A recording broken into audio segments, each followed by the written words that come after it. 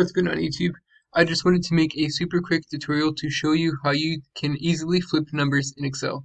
So here we have a range of numbers, but let, and as you can see the most recent date is on the top and the oldest date is on the bottom.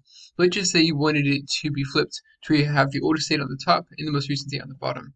So what you have to do is first make this into a table, so highlight the range. You can go to insert and then table, or just do Control T. For this situation, we're going to, we, going to say the tables does not have headers because we don't want the top row to be a header. And then from this point, we're going to click this right here. And then as you can see, we can change the sort.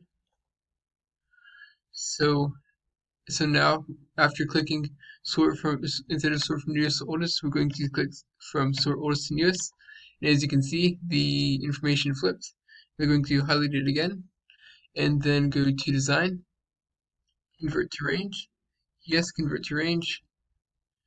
And then we're going to remove the highlighting, so no fill. And then going to do borders, so Alt H B N. And now you can see the data was flipped. Um, please like, subscribe, comment, let me know if this was useful, and I really hope that you all have a great day. Thank you.